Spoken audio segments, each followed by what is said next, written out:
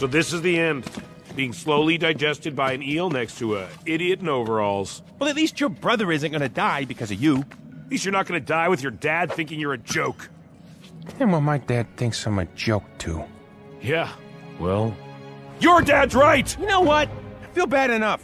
Just, just leave me alone. I've never met your dad, but he sounds brilliant. Just go in a corner and smash some stuff, Smash Monkey. Huh?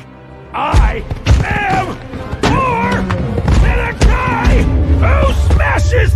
more